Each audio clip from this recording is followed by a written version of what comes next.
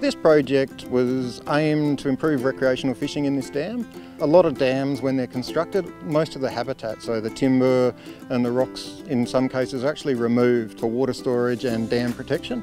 Unfortunately, that's not the best for fishing. Um, fish need habitat um, to thrive and survive. To have uh, initiatives like this, when you consider the 615 attracting devices that have been put in place since 2019, and I want to commend also uh, the Toowoomba Regional Council and particularly acknowledge the, the Mayor here today and the two councillors for their interest and also their collaboration with local groups and their contribution of uh, $30,000 each year from that date. That, that is a, a sure sign of collaboration and a purpose of attracting anglers to this area.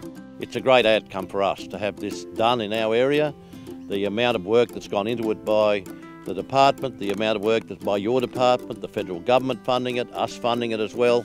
I think that's the way to get an outcome when you've got all those things. From a perspective of the locals, it's, it's going to be tremendous and it'll be really good for the council because it's going to bring more tourists to the area.